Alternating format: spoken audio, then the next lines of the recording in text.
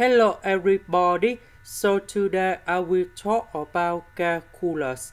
The topic today is about integration. So now I will show you how to answer. About cosine bs to the power of 5, we can write into cosine bs to the power of 4 multiplied by cosine bx Next, about cosine bx to the power of 4, we can write into cosine bx square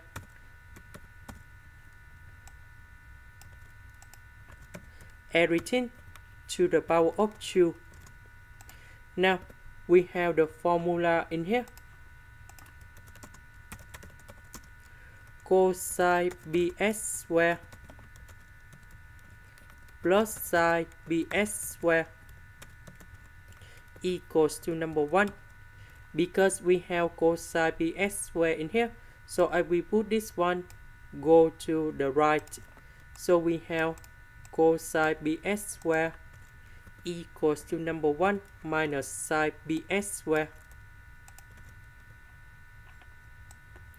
now I need to change about cosine bs square into 1 minus sine bx square. Now, we need to use about integration by substitution. So I will put about u equals to sine bx square. So we need to do first the derivative for the both sides.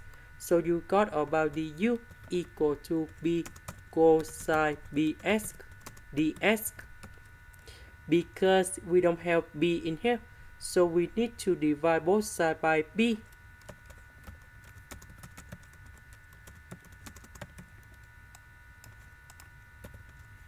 So this one we change by u and you got about u square.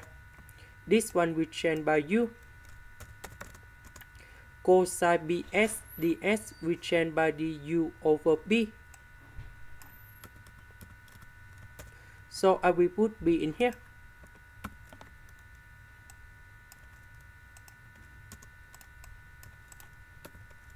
Now we need to expand this one.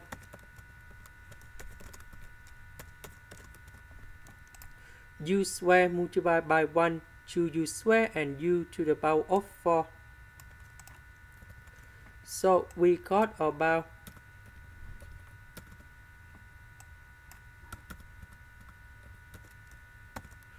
u square minus 2u to the power of 4 plus u to the power of 6. And now the integration of u to the power of u, you got about u to the power of 3 over 3. This one, you got about u to the power of 5 over 5. And the last one, that's about u to the power of 7 over 7. And we put about c. About u, that's about this one.